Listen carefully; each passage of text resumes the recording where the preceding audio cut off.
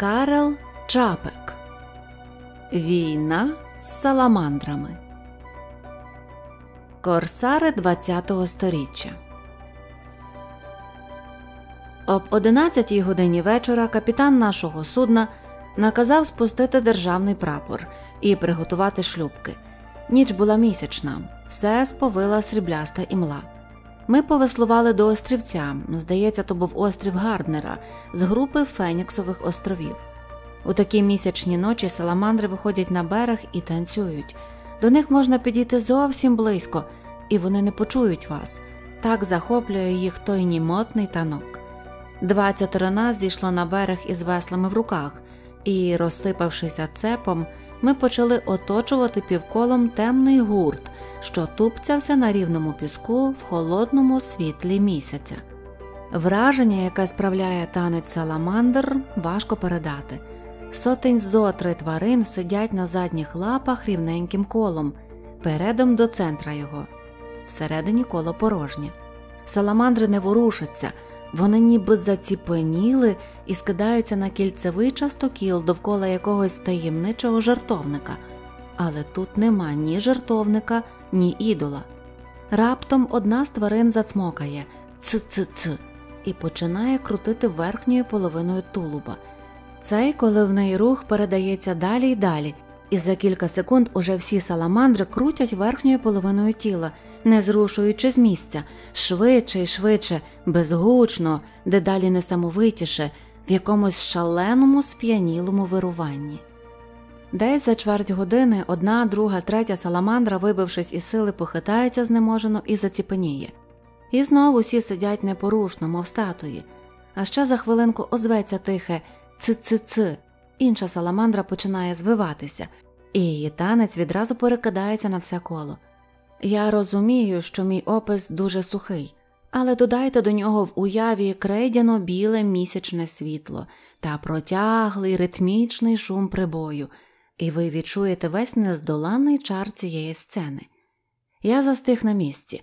Мимовільне почуття подиву і жаху здушило мені горло. Ворушися ти. гримнув на мене найближчий сусід. Це прозірвеш. Ми все тісніше стискали своє коло довкруг хороводу саламандр. Матроси держали весла на переваги і перемовлялися півголосом, скоріш через те, що була ніч, ніж зі страху, що почують саламандри. Бігом до них. скомандував офіцер. Ми кинулись до розвированого хороводу, і весла глухо загупали по спинах саламандр. Аж тоді перелякані тварини сахнулися до центра кола, декотрі намагалися вислизнути поміж веслами і втекти до моря, але удари весел відкидали їх назад, і вони верещали від болю і ляку. Ми зганяли їх веслами до середини, і вони пхалися, тислися, лізли одна на одну. Десятеро матросів затискало їх в огорожі з весел, ще десятеро штурхали й били веслами тих, котрі силкувались прорватися назовні. Перед нами був суцільний клубок чорного м'яса, що звивалось, корчилось, розпачливо квакало, а на нього сипались глухі удари. Потім між двома веслами відкрився прохід. Ним прослизнула одна саламандра і впала, приголомшена ударом кийка по потилиці. За нею вибігла друга, третя, і за хвилину їх лежало там уже два десятки. Закрити. наказав офіцер, і прохід між веслами зімкнувся. Булі біч і метис Дінго почали хапати приголомшених саламандр за лапи і по дві зразу волокти по піску до шлюбок, мов лантухи. Часом безвладне тіло застрягало між камінням, матрос злісно шарпав за ногу, і вона відривалась. То дарма. буркнув старий Майк, що стояв поруч мене. Відросте нова. Коли непритомних саламандр повкидали до шлюбок, офіцер сухо сказав Давайте далі. І знову на потилиці саламандрам посипались удари кийків. Той офіцер, Белламі на прізвище, був культурний, спокійний чоловік, чудовий шахіст, але на полюванні, чи краще сказати, на промислі, хіба до сентиментів. Таким способом було схоплено понад 200 приголомшених кийками саламандр, десятків із сім, очевидно, неживих, яких не варто було забирати, лишилося на місці. На судні спійманих саламандр повкидали в резервуари. Наше судно було старим нафтовим танкером, погано вимиті резервуари ткнули гасом, а на воді в них мінилась райдушна масна плівка. Люки над ними були поздіймані, що проходило повітря. Коли туди повкидали саламандр, вода стала схожою на якусь огидну густу юшку з локшиною. Де не де там щось кволо, безсило ворушилось, але першого дня саламандр не чіпали, дали їм спокій, хай трохи оклигають. Другого дня прийшли четверо матросів з довгими тичками і заходилися штрикати ними в ту юшку. Професіональним жаргоном вона і справді називається суп. Перемішуючи чорні тіла, вони придивлялись, котрі не рухаються чи з котрих відпадає м'ясо, і, підчепивши їх гаками, витягали з резервуару. Юшка чиста? спитав потім капітан. Чиста, сер. Долийте води. Так, сер. Таке очищання юшки треба було робити щодня, і за кожним разом доводилось викидати в море від шести до десяти голів зіпсованого товару, як кажуть на таких суднах. Від нашого танкера не відставала зграя великих ситих акул. Від резервуарів жахливо смерділо, хоч воду час від часу замінювали, вона була жовта, в ній плавав послід саламандр та розмоклі сухарі, і мляво ворушились або отупіло лежали, важко дихаючи чорні тіла. Цим іще добре, запевняв старий Майк. Я бачив, як на одному пароплаві їх перевозили в цистернах з під бензолу, то там вони всі передохли. Через шість днів ми вже брали новий товар на острові Наномеа. Ось який вигляд має торгівля саламандрами, правда, торгівля нелегальна, точніше кажучи, сучасне піратство, що розквітло, так би мовити, за одну ніч.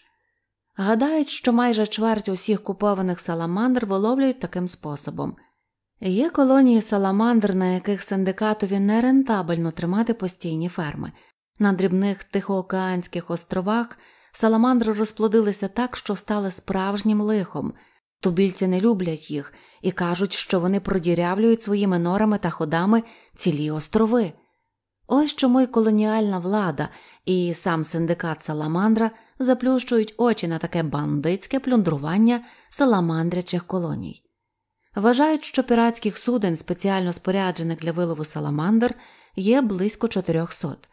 Крім дрібних підприємців, це сучасне корсарство практикують цілі пароплавні компанії, з яких найбільша Тихоокеанська торговельна компанія з правлінням у Будліні. Голова її вельмишановний містер Чарльз Гарріман. Рік тому справа стояла ще гірше. Тоді один бандитський китаєць на ім'я Тенг, що мав троє суден, нападав просто на ферми синдикату, і коли йому чинили опір, не вагаючись, вимордовував увесь персонал. Але торік у листопаді всю тенгову флотилію потопила американська канонерка Мінне Тонка біля острова Мідуей. Відтоді саламандрове піратство прибрало цивілізованіших форм і дедалі розквітає, оскільки установлено певні умови, за дотримання яких його мовчки терплять. Так, наприклад, під час наскоку на чуже узбережжя на судні має бути спущений державний прапор, під яким воно плаває. Далі, щоб під маскою курсарства не провадились довіз і вивіз інших товарів, щоб виловлених саламандр не продавали по депінгових цінах а пускали їх у продаж тільки як другий сорт. У нелегальній торгівлі саламандри йдуть по 20-22 долари за голову, їх вважають, хоча й нижчими якістю, зате надзвичайно витривалими, оскільки вони змогли пережити нелюдське поводження з ними на піратських суднах. Як кажуть, після такого транспортування лишається живих 25-30% виловлених саламандр, але ті, що вижили, можуть витримати що завгодно. Торговельним жаргоном їх називають макарони і останнім часом згадують і в офіційних ринкових бюлетенях. Через два місяці після нашого плавання я сидів з Беламі за шахівницею вестибюлі готелю Франц у Сайгоні. Звичайно, я вже не був матросом з його судна. Слухайте, Беламі, сказав я йому, ви ж порядна людина, джентльмен, як то кажуть. Невже вам ніколи не верне з душі від вашого діла? Адже це, власне кажучи, мерзенна работоргівля. Беламі знизав плечима. То ж тільки саламандри, ухильно буркнув він. Двісті років тому казали, що негри то тільки негри. А хіба не правда? відказав Беламі. Шах. Ту партію я програв. І мені раптом здалося, наче кожен хід на шахівниці не новий, бо колись хтось уже робив його, і ми пересуваємо фігурки так само, прямуючи до таких самих поразок, які вже були колись. Можливо, достото такий пристойний і тихий Белламі колись ловив негрів на березі слонової кості і возив їх на Гаїті або до Луїзіани, не переймаючись тим, що вони мруть у трюмі, як мухи, і не мав на думці нічого лихого. Беламі ніколи не має на думці нічого лихого, тому він невиправний. Чорні програли, вдоволено сказав Беламі, встав і ліниво потягся. Поряд із добре організованою торгівлею саламандрами та широкою пропагандою в пресі величезну роль у розповсюдженні саламандр відіграла могутня хвиля технічного прожектерства, що в ті часи залила весь світ. Бонді слушно передбачав, що відтепер людський розум почне орудувати цілими новими континентами, новими Атлантидами. Протягом усієї епохи Саламандр у технічних колах не вщухала жвава і плідна суперечка про те, чи слід споруджувати важкі континенти залізобетонними берегами, чи насипати легкі з морського піску. Мало не щодня з'являлись нові грандіозні проєкти. Італійські інженери пропонували то спорудження Великої Італії, що зайняла б майже все Середземне море аж до Тріполі, Балеарських островів та до Деканейського архіпелагу, то створення на схід від італійського Сомалі нового континенту, так званої Лемурії, яка згодом покрила б весь Індійський океан. І справді, за допомогою цілої армії Саламандр перед сомалійським портом Могадішо був насипаний новий острівець площею 13,5 акрів. Японія розробила проєкт нового великого острова на місці Маріанських островів і почасти здійснила його а також готувала сполучення Каролінських і Маршальських островів у два великі острови, які малось назвати Новим Ніппоном. На кожному з цих островів мав бути влаштований штучний вулкан, який нагадував би майбутньому населенню священну Фудзіяму. Ходили також чутки, ніби німецькі інженери таємно будують в Саргасовому морі важкий бетонний континент, майбутню Атлантиду, яка загрожуватиме французькій Західній Африці але, здається, вони встигли тільки закласти фундамент. У Голландії розпочали осушувати Зейдерзе, Франція з'єднала Гран-Тер, Бастер і Ладезірат на Гваделупі в один районський острів. Сполучені Штати почали будувати на 37-му меридіані перший острів Аеродром, двоповерховий з величезним готелем, стадіоном, лунапарком і кінотеатром на 5 тисяч місць. Одне слово, здавалось, вже ніби впали останні перешкоди, якими світовий океан стримував розмах людської діяльності. Настала радісна епоха запаморочливих технічних планів. Людина усвідомила, що тільки тепер вона стає володарем світу, завдяки саламандрам, які вийшли на світову арену в потрібний момент і, так би мовити, з історичної необхідності. Шкода заперечувати, що саламандри не розповсюдились би в такій безлічі, якби наша технічна епоха не підготувала для них стількох завдань і такого широчезного поля для їхньої постійної діяльності. Здавалось, майбутнє робітників моря уже забезпечено на цілі сторіччя. Неабияк сприяла розвиткові торгівлі саламандрами і наука, що вчасно присвятила велику увагу дослідженню саламандр як з фізіологічного так і з психологічного погляду.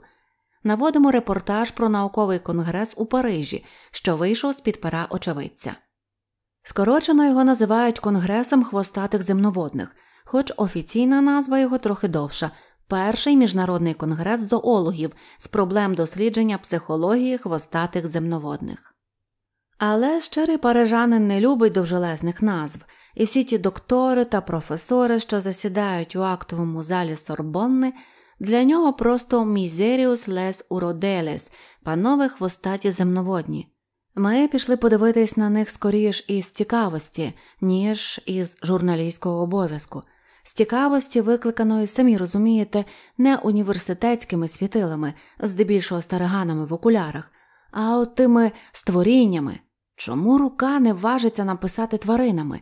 Про яких уже стільки написано від наукових томів аж до бульварних пісеньок, і які, на думку одних, є просто газетною вигадкою, а на думку інших істотами в багатьох відношеннях обдарованішими, ніж сам цар природи і вінець творіння, як ще й досі, я хочу сказати, після світової війни та інших історичних подій, називають людину. Я сподівався, що уславлені учасники конгресу з проблем дослідження хвостатих земноводних дадуть нам, профанам, виразну і остаточну відповідь на те, як стоїть справа з отією славнозвісною кмітливістю Андріаса Шейхцері, що вони скажуть нам. Так, це істота розумна, чи принаймні здатна цивілізуватися не менше, ніж ми з вами, і тому в майбутньому треба буде рахуватися з нею так само, як доводиться рахуватися з майбуттям людських рас, що колись вважалися дикими і примітивними. Тож знайте, що ні такої відповіді я на конгресі не почув, ні навіть саме питання не було на ньому поставлене. Для цього нинішня наука занадто спеціалізована, вона не може цікавитись такими проблемами. Що ж, поцікавимося хоч тим, що наука називає психічним життям тварин.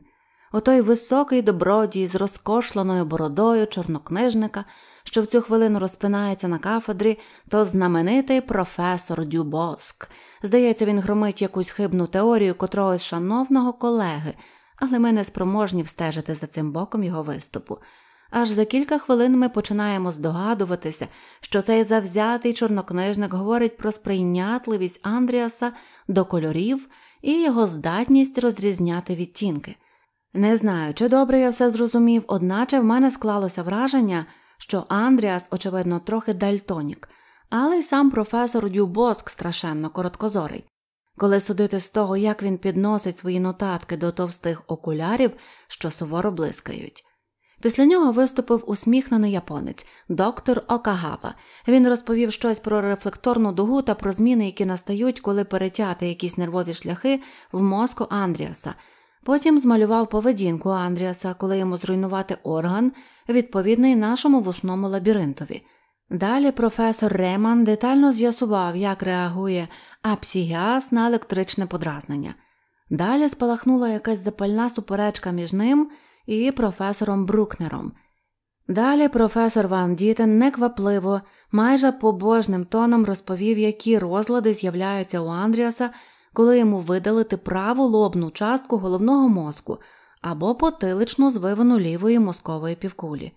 Потім американський професор Дав Райант зачитав доповідь Даруйте, я вже не можу до ладу пригадати, про що саме, бо мені в ту хвилину почали снуватись у голові думки про те, які розлади з'явились би у професора Девраєнта, коли б йому видалити праву лобну частку головного мозку, і як би реагував усміхнений доктор Окагава на подразнення електричним струмом, і як би поводився професор Реман, коли б хтось зруйнував йому вушний лабіринт.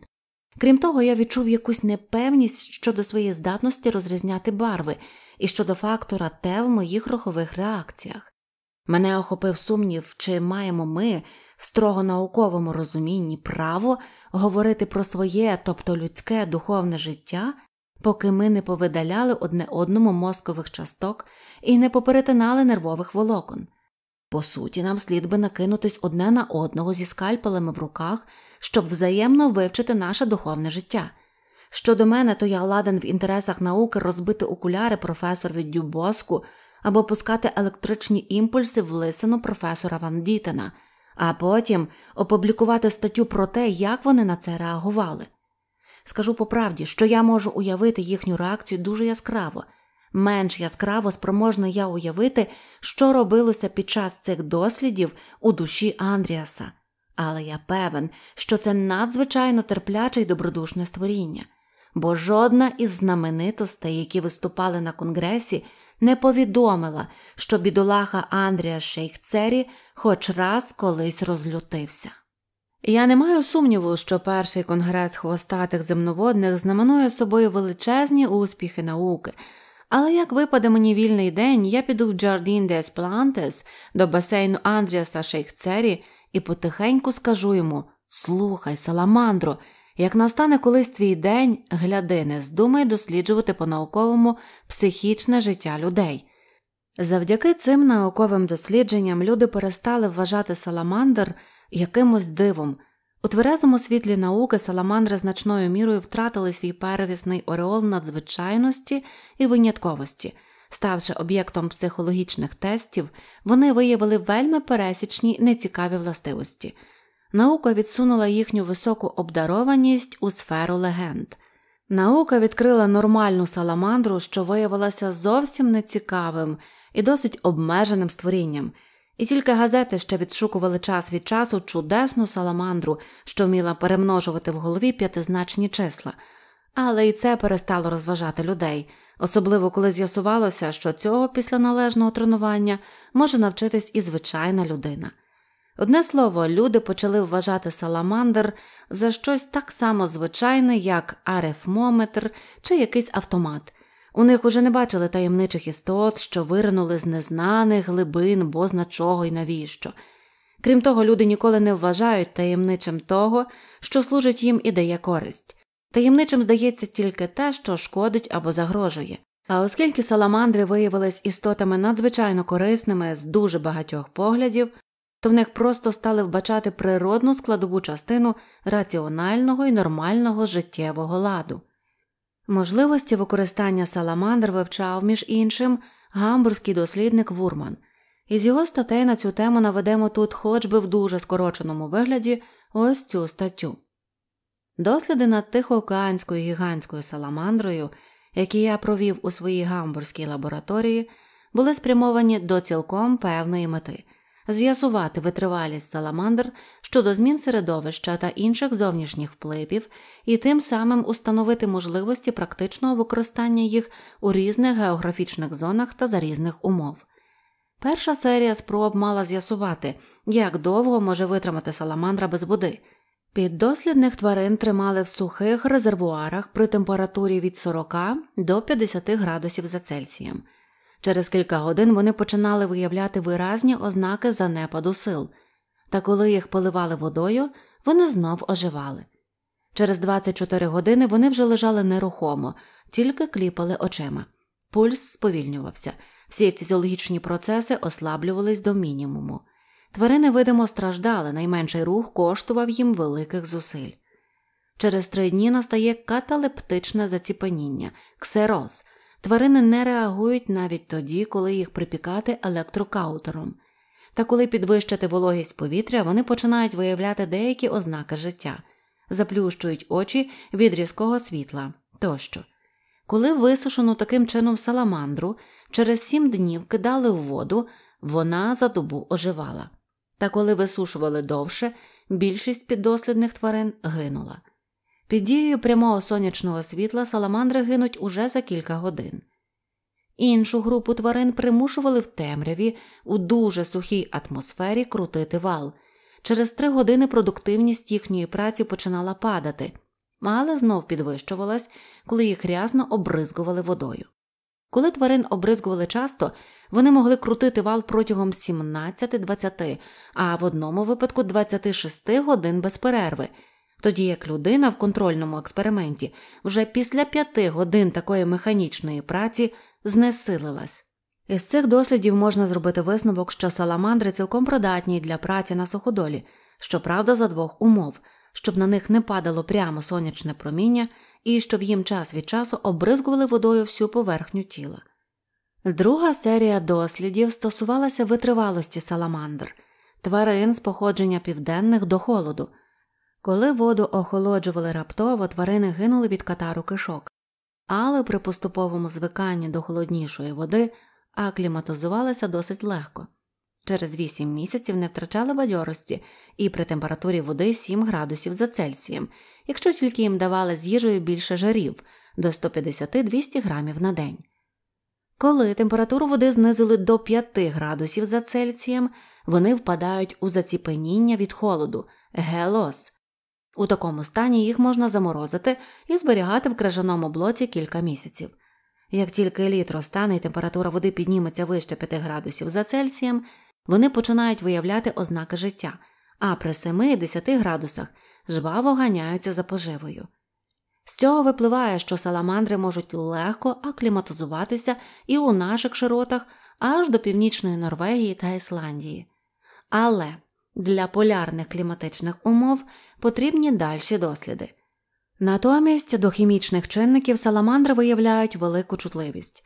При дослідах із дуже слабкими лугами, зливними водами промислових підприємств, дубильними речовинами тощо, з них облазила клаптями шкіра, і піддослідні тварини гинули від гангреноподібного ураження зябр. Отже, в наших річках саламандр використовувати не можна.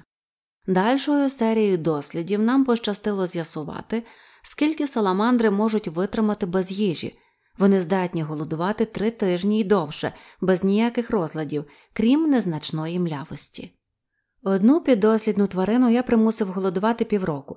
Останні три місяці вона спала, не прокидаючись і не ворушачись, і коли я потім кинув до басейну посічену печінку, саламандра була така квола, що ніяк не реагувала на це, і довелось годувати її штучно.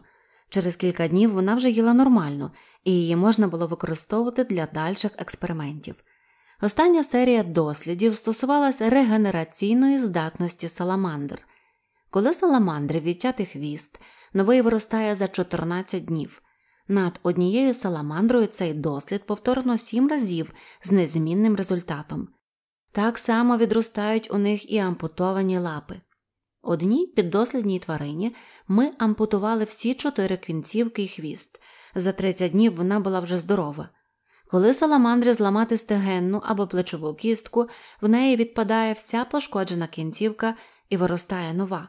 Так само відновлюється видалене око і язик. Цікаво, що саламандра, в якої я вирізав язик, розучилась говорити і мусила навчатися знову. Коли саламандрі ампутувати голову або перерізати їй тулуб із шиєю і тазовою кісткою, тварина гине. Зате шлунок, дві третини печінки та інші внутрішні органи можна видалити, не порушивши життєвих функцій. Отож можна сказати, що майже цілком випатрана живцем саламандра ще здатна жити далі. Жодна інша тварина не наділена такою витривалістю до будь-яких поранень, як саламандра. З цього погляду вона могла би бути досконалою, практично незнищенною бойовою твариною. На жаль, цьому перешкоджає її природна миролюбність. Поряд з цими експериментами мій асистент доктор Вальтер Гінкель дослідив придатність саламандри як можливого джерела сировини. Зокрема, він з'ясував, що в тілі саламандр міститься надзвичайно високий відсоток йоду і фосфору. Не виключено, що в разі потреби з них можна буде промислово добувати ці важливі елементи.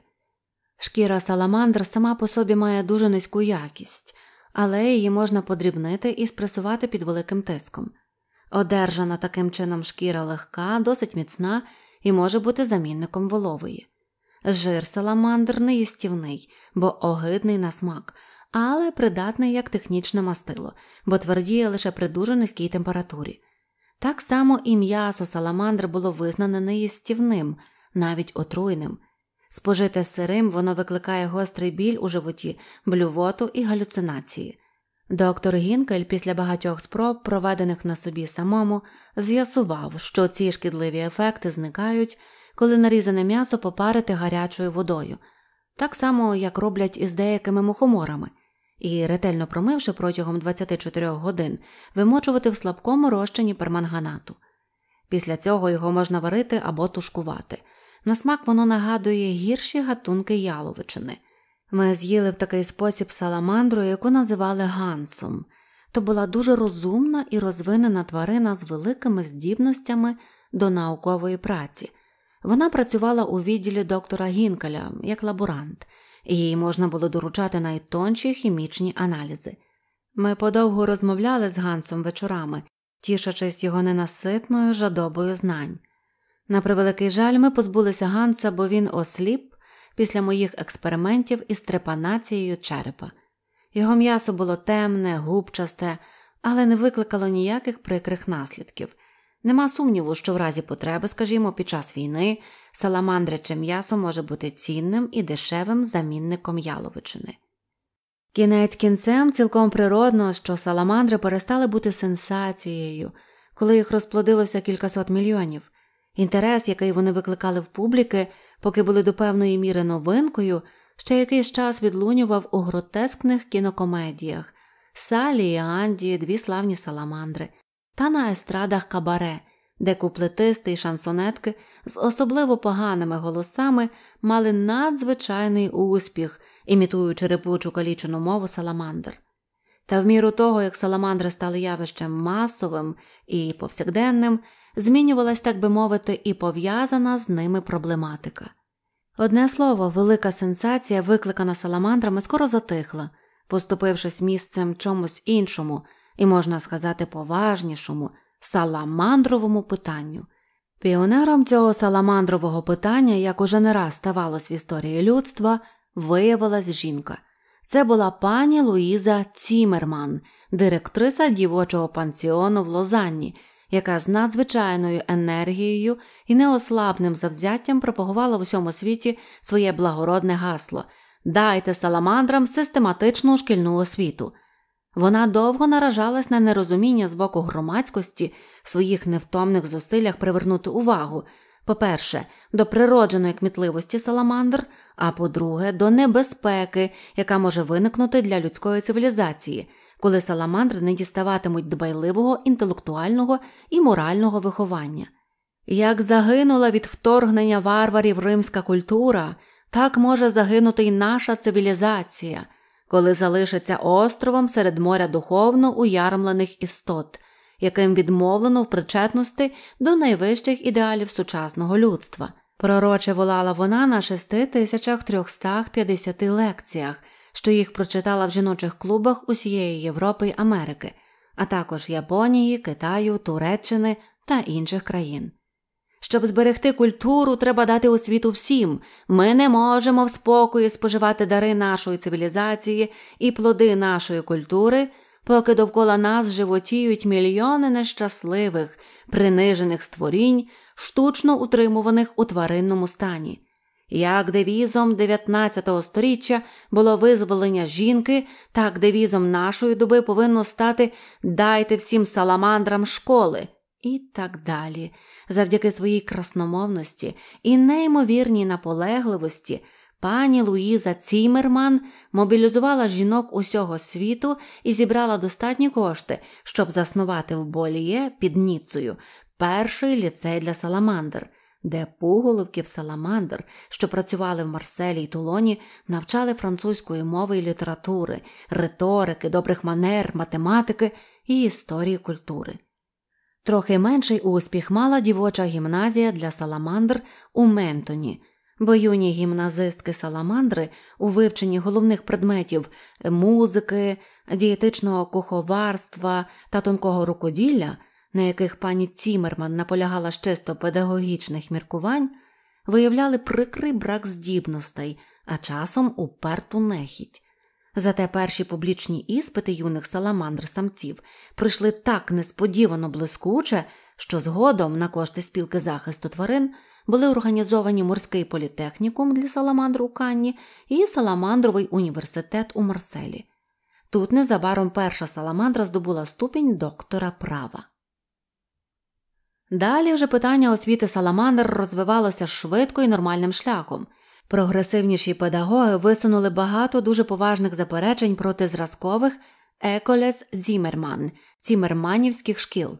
Зокрема, вони заявляли, що застарілі гуманітарні програми, створені для людської молоді, непридатні для виховання юних саламандр, рішуче відкидали викладання літератури та історії і рекомендували віддавати якнайбільше місця й часу практичним і сучасним предметам природничим наукам, праці в шкільних майстернях, технічним знанням, фізкультурі і таке інше. Цю так звану реформовану школу чи то школу практичного життя знов же палко критикували прихильники класичної освіти, які твердили, що саламандр можна познайомити з культурним надбанням людства тільки на основі латині, і що мало навчити їх говорити, треба ще навчити їх цитувати античних поетів і висловлюватися з цицеронівською красномовністю.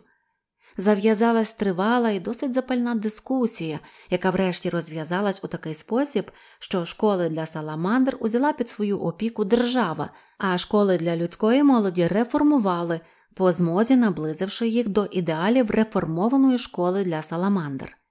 Природно, що відтоді і в інших країнах залунали заклики до обов'язкового систематичного навчання саламандр під контролем держави. Поступово ця ідея була здійснена в усіх приморських країнах, звичайно, за винятком Великобританії. А оскільки ці саламандрові школи не були обтяжені застарілими класичними традиціями людських шкіл і тому могли використовувати всі найновіші методи психотехнологічного виховання до призовної військової підготовки та інших останніх досягнень педагогіки, в них незабаром склалась найсучасніша і найпрогресивніша з наукового погляду система навчання, яка недарма стала об'єктом заздрості всіх педагогів та учнів людських шкіл. Водночас із проблемою шкіл для саламандра з'явилась мовна проблема, котру зі світових мов найкраще вивчати саламандрам. Первісні саламандри з Тихоокеанських островів, звичайно, користувались жаргоном Pidgin English, якого навчились від тубільців та моряків. Багато було й таких, що говорили по малайському або ще якоюсь із місцевих говірок. Саламандр, вирощуваних для сінгапурського ринку, навчали Basic English, науково спрощеної англійської мови, що обходиться кількома сотнями слів без застарілих граматичних складностей. Тому цю реформовану і стандартну англійську мову врешті стали називати Salamander English. У зразкових Écoles Zimmermann саламандри висловлювалися мовою Корнеля, звичайно, не з патріотичних міркувань, а просто тому, що це неодмінна частина доброго виховання. Натомість у реформованих школах їх навчали есперанто, як мови чисто практичної. Крім того, в ті роки було створено ще п'ять чи шість універсальних мов, які мали заступити для людства вавілонську мішанину мов і дати одну спільну рідну мову всьому світові і людям, і саламандрам. Звичайно, без кінця точилися суперечки про те, котра з цих міжнародних мов найлегша, наймилозвучніша і найуніверсальніша. Скінчилося все тим, що серед кожної нації стали пропагувати свою власну універсальну мову. Коли школи для саламандр стали державними, все спростилося. В кожній країні саламандр навчали її мовою. Хоча саламандри навчалися чужих мов охоче й досить легко, їхні мовні здібності не були досконалими, почасти через будову органів мови, а почасти з чисто психологічних причин. Так, наприклад, їм важко було вимовляти довгі, багатоскладові слова, і вони намагалися скоротити їх до одного складу, який вимовляли різко, ніби квакаючи. Замість «р» вони говорили Л, а свистячі приголосні виходили у них трохи шепеляво. Вони ковтали граматичні флексії, не могли навчитися розрізняти я і ми, і їм було однаково, чи якесь слово чоловічого роду, чи жіночого. Певне, в цьому виявилась їхня статева холодність поза періодом парування. Одне слово, кожна мова зазнавала в їхніх устах характерних трансформацій можна сказати, раціоналізувалась до найпростіших рудиментарних форм. Цікаво, що їхні неологізми, вимову і примітивність граматики дуже скоро почали переймати з одного боку портові люмпени, а з другого так зване вище товариство. Звідти цей спосіб висловлювання поширився на газети і незабаром став повсюдним. І в людей значною мірою відмерли граматичні роди, флексії та відмінки. Золота молодь скасувала «р» і навчилась шепелявити. Мало хто з освічених людей міг би ще пояснити, що таке індетермінізм чи трансцендентність, просто через те, що ці слова і для людей стали занадто довгими і важкими для вимови. Коротше кажучи, добре чи погано, а саламандри вміли говорити майже всіма мовами світу, залежно від того, на чиїх берегах жили. Якось у нас, е, здається, в народних лістах вийшла стаття, в якій із прикрістю, безперечно слушною, запитувалось, чому саламандри не вивчають чеської мови, коли вже є на світі такі, що говорять по португальському, по голландському та іншими мовами малих народів. Звичайно, наша нація не має, на жаль, морських берегів, погоджувався автор статті, а тому в нас немає морських саламандр.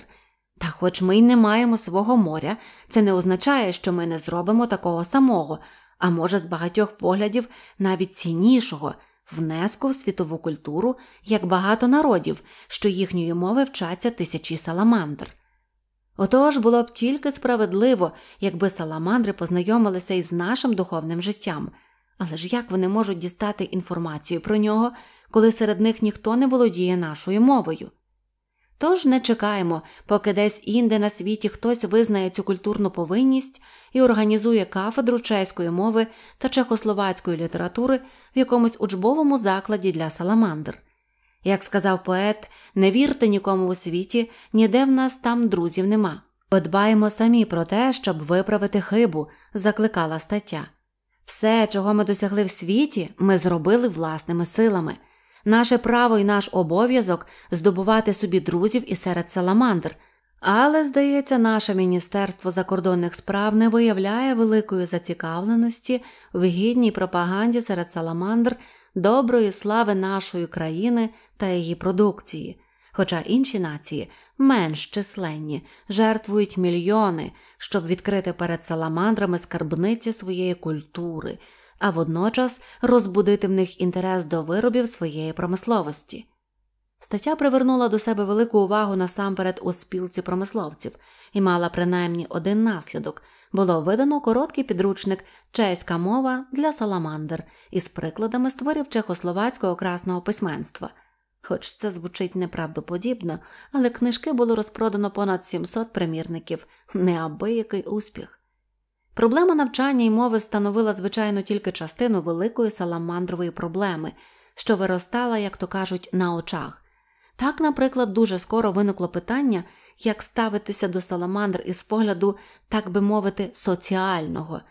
У перші, можна сказати, доісторичні роки саламандрової епохи проти жорстокого нелюдського поводження саламандрами дуже активно виступали спілки захисту тварин.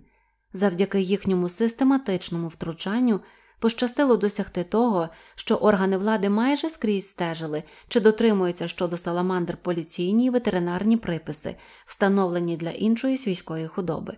Принципові противники вівісекції також підписали багато протестів і петицій, вимагаючи заборонити провадити на живих саламандрах наукові експерименти, і в багатьох країнах справді було видано відповідні закони. Та в міру того, як зростала освіченість саламандр, ставало дедалі сумнівніше, чи годиться просто поширювати на них закони про охорону тварин, із якихось не зовсім ясних причин така позиція почала викликати ніяковість. Тоді була заснована Міжнародна ліга захисту Саламандр під покровительством герцогині Гедерсфільської. Ця ліга, що налічувала понад 200 тисяч членів, переважно в Англії, виконала на користь Саламандр велику і похвальну роботу. Зокрема, домоглась того, що на морських узбережжях були упоряджені спеціальні саламандрові стадіони, де амфібії, віддалік від настирливих глядачів, могли влаштовувати свої збори та спортивні свята. Мались на увазі, напевне, таємничі місячні танці. Далі в усіх учбових закладах аж до Оксфордського університету учням і студентам втлумачували, що не слід кидати на саламандр каміння. Вживалось заходів, щоб у саламандрових школах поголовків не переобтяжували навчанням, і нарешті ті місця, де працювали і жили саламандри, були пообгороджувані високими дощаними парканами, які охороняли саламандр від усякого докучання, а головне, в достатній мірі відмежовували світ саламандр від світу людей. Одначе цієї похвальної ініціативи приватних осіб які намагалися встановити пристойні й гуманні взаємини між людським суспільством і саламандрами, дуже скоро виявилося замало, бо, хоч включити саламандри, як то кажуть, у виробничий процес було порівняно легко, знайти для них місце у наявному суспільному ладі виявилось багато складнішим і важчим завданням. Правда, люди консервативних поглядів твердили, що тут нема чого й говорити про якісь правові чи соціальні проблеми. Саламандри, мовляв, є просто власністю свого роботодавця, який ручиться за них, а тому відповідає за ті збитки, яких вони можуть комусь завдати. Незважаючи на свій безперечний розум, саламандри можуть вважатись тільки юридичним об'єктом, річчю чи майном, і будь-яка особлива законодавча постанова, що стосуватиметься їх, буде зазіханням на священні закони приватної власності. Їхні супротивники заперечували, що саламандри, як істоти розумні і великою мірою здатні відповідати за свої вчинки, можуть найрізноманітнішими способами свавільно порушувати чинні закони. Тож з якої речі власник саламандр має нести відповідальність за ті порушення, що їх допустились його саламандри. Такий ризик цілком, напевне, підірвав би приватне підприємництво в царині робіт, виконуваних саламандрами, адже в морі парканів нема, заявляли вони, і саламандр неможливо замикати на замок і держати весь час під наглядом. А тому треба законодавчим шляхом зобов'язати самих саламандр, щоб вони шанували людський правопорядок і держалися приписів, виданих для них. Наскільки відомо, закони, що стосувалися саламандр, насамперед були видані у Франції. Перший закон установлював обов'язки саламандр на випадок мобілізації і війни, другий закон, так званий закон Деваля, дозволяв саламандрам оселятися тільки в тих місцях які вкаже їм власник або відповідний департаментський орган влади. Третій закон проголошував, що саламандри повинні беззастережно коритися всім розпорядженням поліції, а в разі непокори поліційні органи мають право карати їх ув'язненням у сухому і світлому місці або навіть усуненням від праці на тривалий час. У відповідь ліві партії негайно подали до палати пропозицію виробити для саламандр соціальне законодавство яке обмежило б їхні обов'язки на роботі і наклало б на роботодавців певні зобов'язання щодо трудящих саламандр, наприклад, двотижнева відпустка на час весняного парування. Крайнє ліве крило навпаки зажадало, щоб саламандри всі були вигнані з країни як вороги трудового народу, бо ж вони на службі в капіталізму працюють надто багато і майже задарма ставлячи тим під загрозу життєвий рівень робітничого класу. На підтримку цієї вимоги відбувся страйк у Бресті і великі демонстрації в Парижі. Було багато поранених, і кабінетові Деваля довелося подати у відставку. В Італії Саламандр підпорядкували особливій саламандровій корпорації, що складалась із підприємців та представників влади. В Голландії ними віддало Міністерство водних споруд.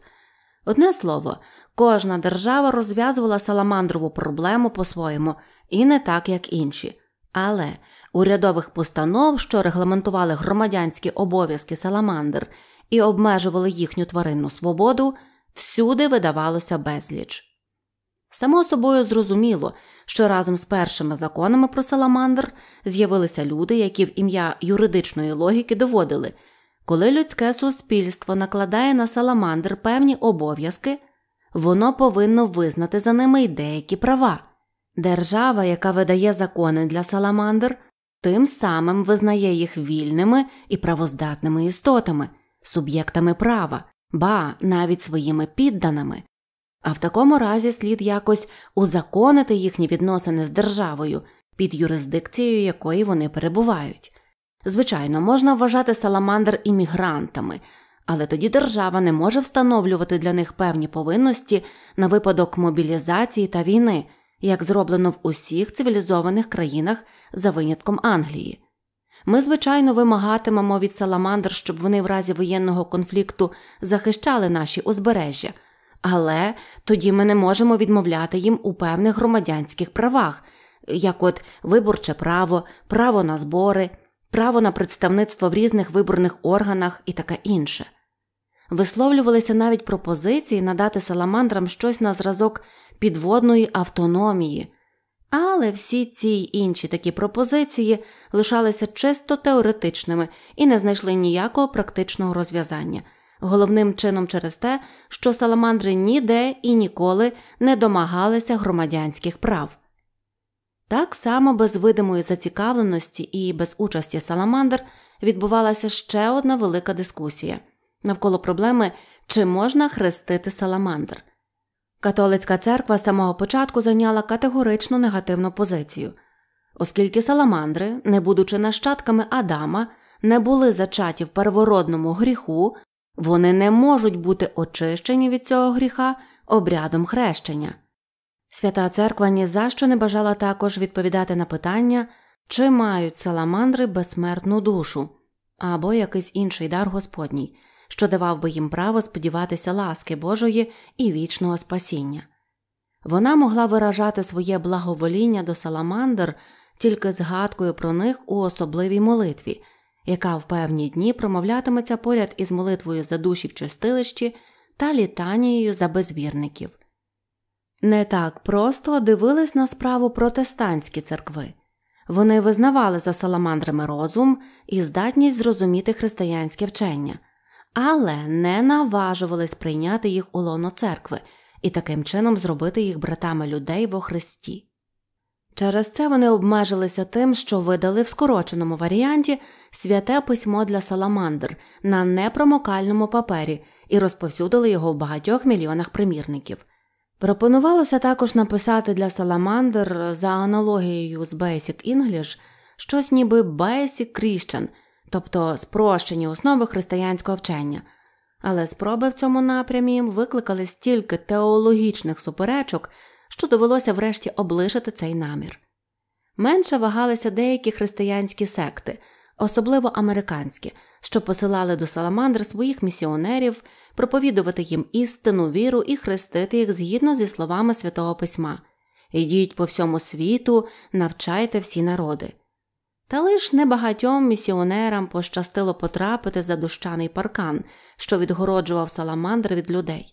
Роботодавці не пускали їх туди, щоб вони своїми проповідями не відвертали саламандр від праці.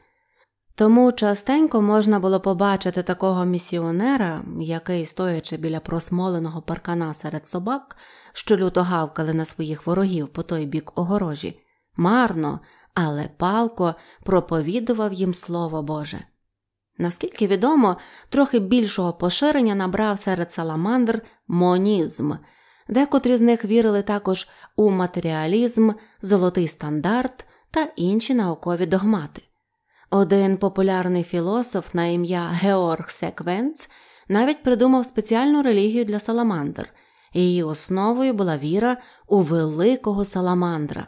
Правда, серед саламандр ця віра не прищепилась, зате вона знайшла численних прихильників серед людей, особливо у великих містах, де, як гриби після дощу, виросла безліч таємних храмів саламандрового культу. Самі саламандри в пізніші часи майже повсюду прийняли іншу віру, про яку невідомо навіть звідки вона у них взялася. Це був культ Молоха, якого вони уявляли собі величезною саламандрою з людською головою.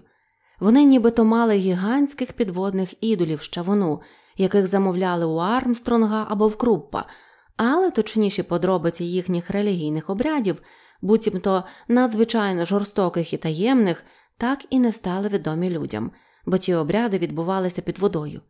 Очевидно, ця релігія поширилася серед них завдяки тому, що ім'я Молох нагадувало їм природознавчу Мольке або німецьку дермольк назву саламандри. Як видно з попереднього тексту, саламандрова проблема на початку та ще й дуже довго полягала лише в тому, чи саламандри, як істоти розумні і значною мірою цивілізовані, можуть, а коли так, то до якої межі користуватися певними людськими правами, хай навіть десь на периферії людського суспільства і ладу. Інакше кажучи, це було внутрішнє питання окремих держав, розв'язуване в рамках цивільного права. Багато років нікому й на думку не спадало, що саламандрова проблема може набрати широкого міжнародного значення і що, можливо, доведеться входити в стосунки з саламандрами не тільки як із розумними створіннями, а й як із колективом чи народом. Сказати правду, перший крок до такого розуміння саламандрової проблеми зробили саме ті досить ексцентричні християнські секти, що намагались охрестити саламандр, посилаючись на слово святого письма Йдіть по всьому світу, навчайте всі народи. Так уперше була висловлена думка, що саламандри щось на зразок нації. Різні організації звернулися з закликами до саламандр. Врешті саламандровою проблемою зацікавилось і Міжнародне бюро праці в Женеві. Там зіткнулися два суперечні погляди. Одні визнавали саламандр новим трудящим класом і домагалися, щоб на них було поширено все соціальне законодавство, щодо обмеження робочого дня, оплачених відпусток, пенсій інвалідам та старим і так далі. Інші, навпаки, заявляли, що з саламандр виростають небезпечні конкуренти для робітників людей, і що працю саламандр як антисоціальну слід просто заборонити. Проти цієї пропозиції виступили не тільки представники роботодавців, а й робітничі делегати, звертаючи увагу на те, що саламандра це вже не тільки нова робоча армія, а й масові споживачі, які набувають дедалі більшого значення. Вони відзначали, що останнім часом в ще небувалих масштабах зросла кількість робітників у металообробній, інструменти, верстати та чавунні ідоли для саламандр, збройовій, хімічній підводні вибухові речовини, паперовій підручники для саламандр, цементній, деревообробній промисловості, у виробництві штучної їжі, саламандр фуд та багатьох інших галузях. Тонаж торговельного флоту зріс проти досаламандрових часів на 27%, видобуток вугілля на 18,6%. Непрямим шляхом через зростання забезпеченості роботою та достатку у людей збільшується обіг коштів і в інших галузях промисловості. І нарешті, останнім часом саламандри самі почали замовляти різні деталі машин за власними кресленнями. З цих деталей вони складають під водою пневматичні сверла й молотки, підводні двигуни, друкарські машини, радіопередавачі та інші пристрої власної конструкції. За ці деталі саламандри платять підвищенням продуктивності праці.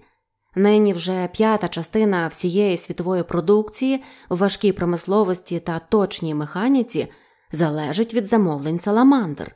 Забороніть їхню працю і можете закривати п'яту частину заводів і фабрик. Замість сьогоднішнього буму матимете мільйони безробітних. Звичайно, Міжнародне бюро праці не могло не взяти до уваги цих заперечень. Урешті, після довгого обговорення досягли компромісної постанови, що вище названим працівникам групи С земноводні дозволяється надавати роботу тільки під водою або у воді.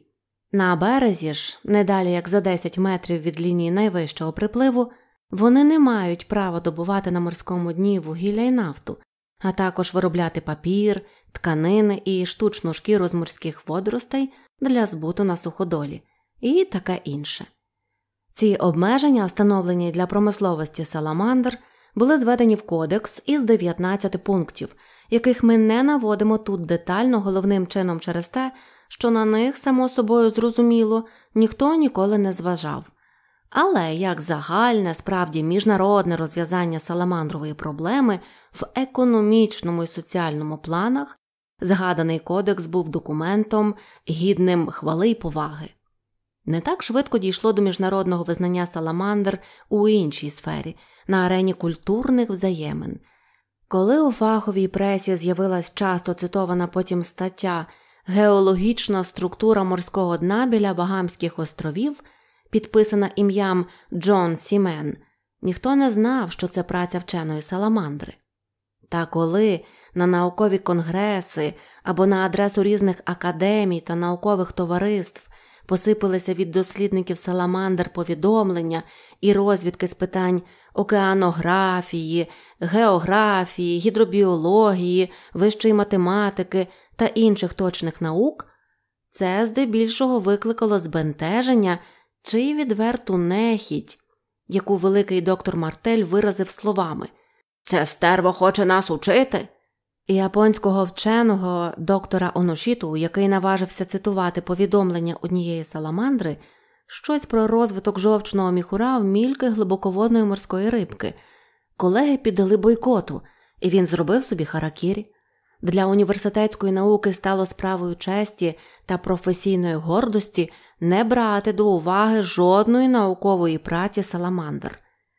Тим більшу сенсацію, щоб не сказати скандал викликав жест університетського центру в Ніцці, який запросив доктора Шарля Марсьє, високовчену саламандру Столонського порту, виступити на урочистих зборах з лекцією. І доктор Марсьє з неабияким успіхом виголосив доповідь про теорію конічних перерізів у неевклідовій геометрії. На цих зборах була присутня як делегатка від Женевської організації і пані Марія Дімініану. Ця чудова, благородна жінка була така розчулена скромною поведінкою і вченістю доктора Мерсьє, що поставила за мету свого невтомно діяльного життя домогтися, щоб саламандр прийняли до Ліги націй. Марно пояснювали державні діячі красномовні й енергійні дамі, що саламандри не можуть бути членами Ліги націй, бо не мають ніде в світі своєї суверенної території і державної влади. Пані Діміньяно почала пропагувати ідею надання саламандрам вільної території, де б вони могли створити свою підводну державу. Цю ідею сприйняли, звичайно, досить неприхильно, щоб не сказати вороже, та нарешті знайшлося щасливе вирішення організувати при лізі нації спеціальну комісію для вивчення саламандрового питання, до якої запросять і двох делегатів Саламандр. Одним із них, під натиском пані Дімініану, обрали доктора Шарля Марсьє Стулона, а другий був Дон Маріо, огрядна вчена саламандра з Куби, що досліджувала планктон і бентос. Це був найвищий на той час акт міжнародного визнання саламандр. Таким чином, ми бачимо саламандр у енергійному і невпинному поступі. Їх кількість уже оцінюють у 7 мільярдів, хоча зі зростанням цивілізованості плодючість їхня різко падає до 20-30 поголовків на рік. Вони вже заселили понад 60% усіх узбереж земної кулі, полярні узбережжя ще не заселені, але канадські саламандри вже починають колонізувати узбережжя Гренландії де навіть відтісняють ескімосів у глиб острова і перехоплюють у свої руки рибальство та торгівлю риб'ячим жиром. Рука в руку з їхнім матеріальним поступом іде й культурний прогрес. Вони вже ввійшли до числа цивілізованих народів з обов'язковим шкільним навчанням і можуть пишатись багатьма сотнями власних підводних газет, що виходять у мільйонах примірників, зразково організованими науковими установами тощо. Звичайно, це культурне піднесення не завжди проходило рівно, без внутрішньої боротьби. Правда, ми дуже мало знаємо про внутрішні справи саламандр, але з деяких ознак, наприклад, із того, що знаходили трупи саламандр із повідгризаними мордами і головами, можна гадати, що під поверхнею моря довго кипіли завзяті ідейні суперечки між старосаламандрами та молодосаламандрами. Ці останні, очевидно, стояли за прогрес без обмежень і застережень, і заявляли, що треба і під водою якнайшвидше запровадити всю суходільну культуру з усіма її здобутками, не виключаючи футболу, флірту, фашизму і статевих збочень. Натомість старосаламандри, мабуть, консервативно чіплялись за природну саламандровість і не хотіли зрікатися добрих давніх тваринних звичок та інстинктів. Нема сумніву, що вони засуджували гарячкову гонитву за всім новим і вбачали в ній ознаку занепаду і зраду ідеалів предків. Напевне, вони нарікали і на чужі впливи, яким сліпо піддається нинішня розбещена молодь, і питали себе, чи таке мавпування всього людського гідне, гордих і свідомих своєї вартості саламандр. Неважко собі уявити, що там виголошувались гасла на взірець назад до міоцену геть усе, що хоче нас улюднити, вбій за нерушиму саламандровість і таке інше. Безперечно, там були всі передумови для гострого ідейного конфлікту між поколіннями і для перевороту в духовному розвитку саламандр. Шкода, що ми не можемо навести точніших подробиць, але треба гадати, що саламандри використали в цьому конфлікті всі можливості. Отже, ми бачимо саламандр на шляху до найвищого розквіту, але людський світ тішиться в цей час ще небувалим добробутом. Гарячково споруджуються нові береги континентів, на колишніх обмілинах виростають нові суходоли, посеред океану зводяться нові острови аеропорти. Але все це дрібниці проти грандіозних технічних проєктів цілковитої перебудови нашої земної кулі, що чекають тільки хто візьметься фінансувати їх. З вечора й до ранку саламандри без перепочинку працюють в усіх морях і на всіх узбережжях. Здається, вони задоволені і не хочуть для себе нічого, аби весь час мати роботу і аби їм було дарити в берегах нори та ходи своїх темних жител.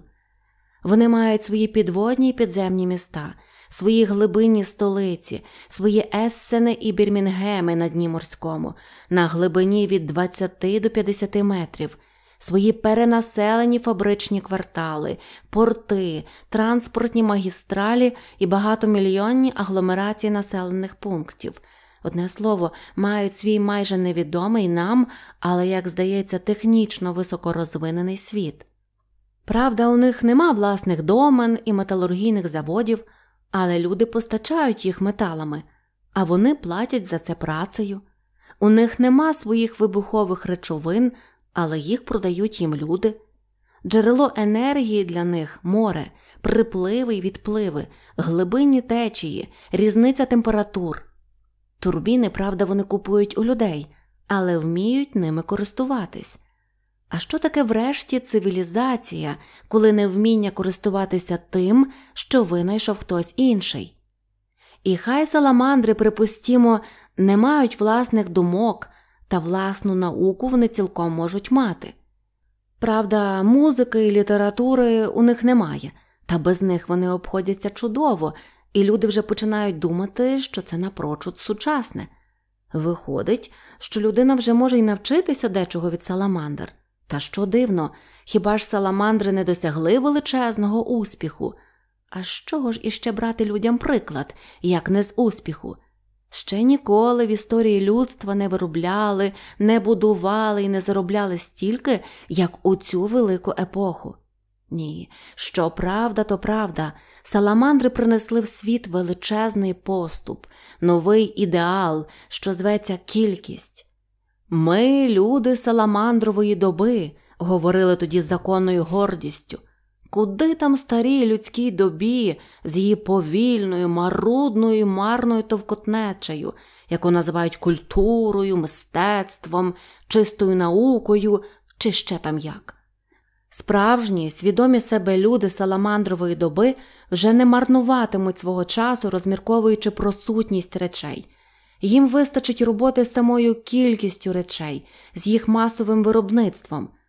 Усе майбутнє світу в тому, щоб безнастанно збільшувати виробництво і споживання, а через те повинно бути ще більше саламандр, щоб вони могли ще більше виробити і з'їсти. Саламандри це просто множина, їхня епохальна роль у тому, що їх багато. Лиш тепер людський розум може працювати на повну силу, бо він працює в широких масштабах з максимальною продуктивністю і рекордним економічним ефектом. Коротше кажучи, настала велика доба. Тож чого ще бракує, щоб почалася щаслива нова ера, ера загальної вдоволеності і процвітання? Що перешкоджає здійснитись жаданій утопії, в якій з'єднаються всі технічні перемоги, відкриваючи все нові й нові перспективи зростання людського добробуту і працьовитості, і так до безмежжя? Воістину ніщо, бо ж віднині ділові взаємини з саламандрами будуть увінчані прозірливістю державної влади, яка насамперед дбатиме про те, щоб у колесах нової ери ніде ніщо не зарипіло. В Лондоні зібралась конференція приморських держав, на якій вироблено і схвалено міжнародну конвенцію про саламандр. Високі договірні сторони взаємно зобов'язалися, що не посилатимуть своїх саламандр у територіальні води інших держав, що не дозволятимуть своїм саламандрам у якийсь спосіб порушувати недоторканість території чи визнаної сфери інтересів будь-якої іншої держави, що не втручатимуться в пов'язані з саламандрами справи інших приморських держав що у випадку конфлікту між своїми і чужими саламандрами скоряться міжнародному гаазькому судові, що не озброюватимуть своїх саламандр ніякою зброєю, калібр якої перевищує калібр загально вживаних підводних пістолетів проти акул. Що не дозволятимуть своїм саламандрам зав'язувати будь-які ближчі взаємини з саламандрами, підлеглими іншій державі, що не допомагатимуть саламандрам споруджувати нові суходоли, або розширювати свою територію без попереднього схвалення постійної морської комісії в Женеві і так далі. Всього там було 37 параграфів. Водночас були відхилені пропозиція Англії, що приморські держави зобов'язались не запроваджувати обов'язкового військового навчання серед саламандр. Пропозиція Франції інтернаціоналізувати саламандр і підпорядкувати їх міжнародному саламандровому бюро впорядкування всесвітніх вод. Пропозиція Німеччини випікати на кожній саламандрі тавро держави, підданою якої вона є. І ще одну німецьку пропозицію, щоб кожній приморській державі дозволили мати лише певну кількість саламандр, заздалегідь установлену для кожної держави. Пропозиція Італії, щоб державам із надлишком саламандр виділили нові узбережжя або ділянки морського дна для колонізації. Пропозиція Японії, щоб над саламандрами, чорношкірими від природи, надали міжнародний мандат японської нації як представниці кольорових рас. Обговорення більшості цих пропозицій перенесли на наступну конференцію приморських держав, яка, одначе, з різних причин так і не відбулася. Цей міжнародний акт, писав у газеті Тан Жюль Заурштоф, забезпечує майбутнє саламандр і мирний розвиток людства на багато десятків років. Привітаємо ж лондонську конференцію з успішним закінченням її нелегкої роботи. Привітаємо й саламандр із тим, що ухвалена конвенція ставить їх під охорону Гаазького суду. Тепер вони зможуть спокійно і без страху присвятити себе своїй праці і своєму підводному поступові. Треба підкреслити, що деполітизація саламандрової проблеми, яка відбулась у постановах Лондонської конвенції, це одна з найважливіших запорук всесвітнього миру. А особливо роззброєння саламандр зменшує ймовірність підводних конфліктів між окремими державами. Можна бути певними, що незважаючи на численні суперечки за кордони та сфери впливу, які точаться майже на всіх континентах мирові в усьому світі не загрожує ніяка безпосередня небезпека, принаймні з боку моря. Але й на суходолі, як видно, мир сьогодні забезпечений краще, ніж будь-коли. Приморські держави цілком зайняті будівництвом нових берегів і можуть розширювати свою територію за рахунок Світового океану, замість того, щоб намагатися розсунути свої суходільні кордони. Вже не буде потрібно битися крицею і газами за кожну п'ять землі. Вистачить звичайних кайл та лопат у руках саламандр, щоб кожна держава насипала собі стільки території, скільки їй треба. І цю мирну працю саламандр для миру і добробуту всіх народів гарантує Лондонська конвенція. Ще ніколи світ не був такий близький до тривкого миру і спокійного, але чудесного розквіту, як тепер. Замість саламандрової проблеми, про яку вже стільки наговорено і написано. Віднині, мабуть, цілком слушно говоритимуть про золотий саламандровий вік. Далі буде. Дякую вам за кожну вподобайку і до зустрічі на каналі Світ Казок.